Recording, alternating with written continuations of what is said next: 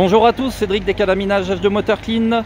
Je suis actuellement à Milly-la-Forêt avec un nouveau partenaire, Garage Jeto Cars.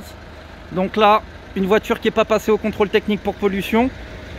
Vas-y. Donc, voilà, donc comme on voit, pas mal de calamine, moteur encrassé. hein. Toujours présent avec la machine Carbon Cleaning. Le diagnostic a été lancé, rien à signaler. Une Toyota Yoris, hein, un moteur très connu, des 4D. Voilà. Je vous ferai une petite vidéo après pour voir l'impact que ça a eu, le avant et le après. Pour ceux qui habitent à côté Milly-la-Forêt, je vous invite, garage, GT Cars, Brito.